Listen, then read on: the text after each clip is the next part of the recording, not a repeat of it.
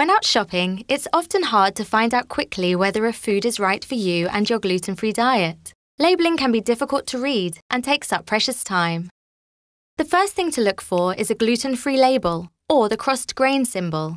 These symbols are there to guide you in finding suitable foods. If you don't see either of them, the next thing to look at is the ingredients list.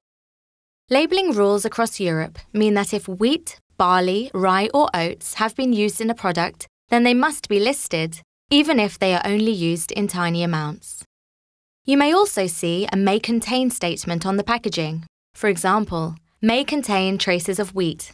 These tell you that there is a risk of cross contamination.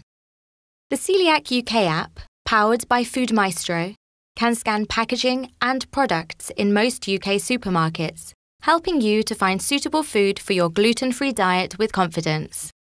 If you are unsure about a product or would like some more advice, visit www.coeliac.org.uk or contact the Coeliac UK helpline on 0333 332 2033.